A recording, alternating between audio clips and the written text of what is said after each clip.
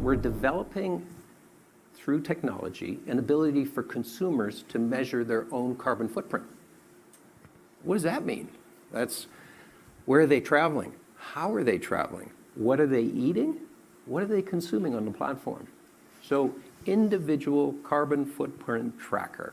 Hmm. Stay tuned. We don't have it operational yet, but this is something that we're working on.